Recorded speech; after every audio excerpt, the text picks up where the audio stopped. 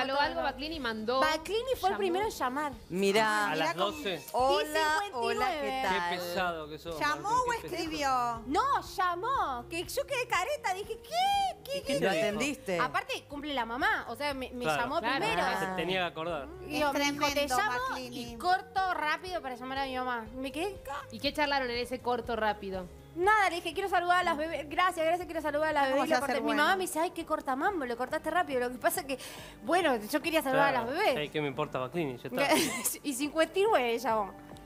Así que... Y el otro no. El otro no. No, ni siquiera un regalito de parte de la nena, nada, ni un gesto.